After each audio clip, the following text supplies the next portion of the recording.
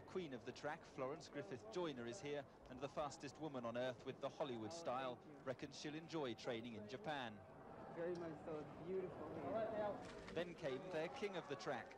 Carl Lewis, the Olympic sprint champion, emerged for training cameras.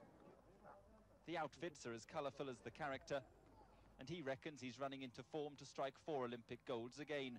But today, sprinting took second place to talking, the inevitable press conference and the fun side of Carl Lewis. Mr. Carl Lewis, will you please stand up? And Was this a dating game or something?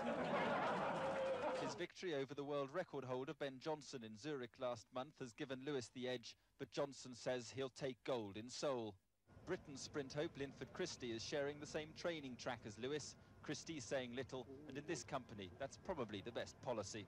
Mark Austin, ITN Sport, Japan.